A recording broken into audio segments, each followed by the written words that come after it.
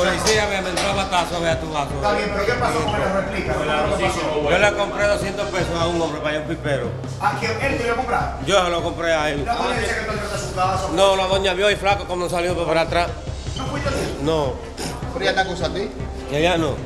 ¿Y qué te Yo le dije a ella, yo le dije a ella. Ella está ahí, tú dices que Ah, porque yo quiero ver a la cara, eh, porque yo le dije allá anoche, mira, ve los plátanos que yo traje, mira el ¿Qué tú ibas arroz. a hacer con ese hermano? ¿Eh? ¿Y la ropa para qué era que tú lo querías? Para llevarlo para allá abajo para cocinar. Pero dejaron a esa doña sin comer, a esa pobre doña. Sí, pero no fui yo.